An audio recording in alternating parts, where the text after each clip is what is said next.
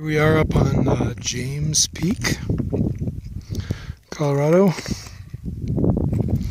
and I uh, just finished the climb up here moments ago.